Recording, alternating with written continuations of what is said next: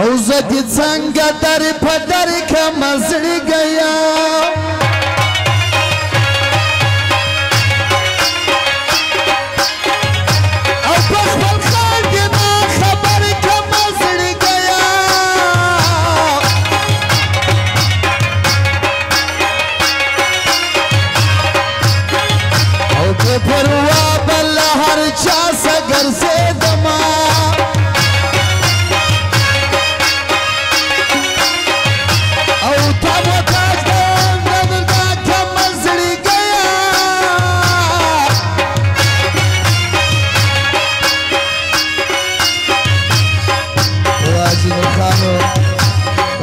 جاوید خان قدرمن ورور دی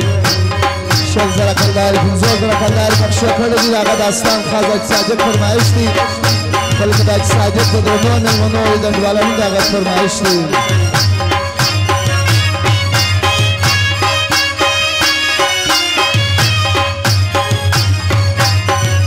شنو ملګرو او زما شوم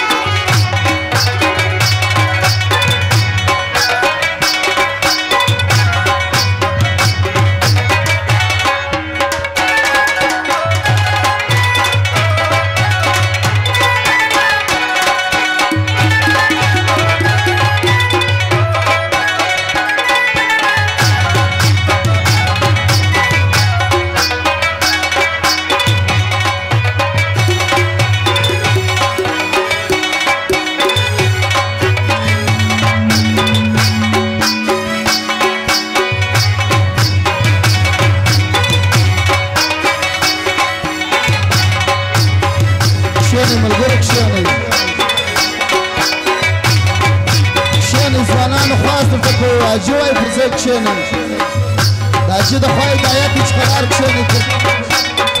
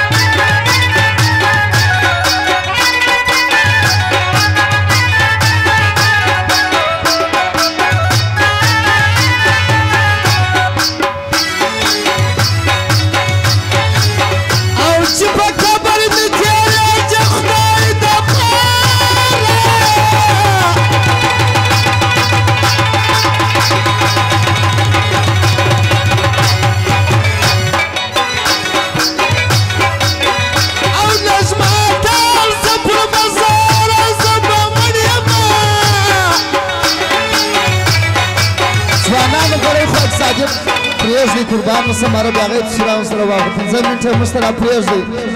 کښېنئ خواست درته کوو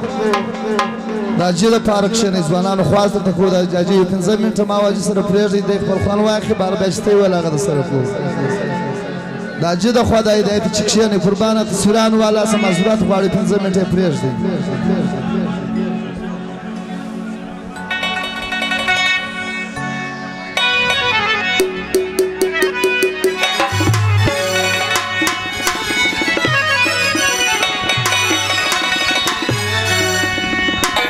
و خدای دې ته هغه مرګ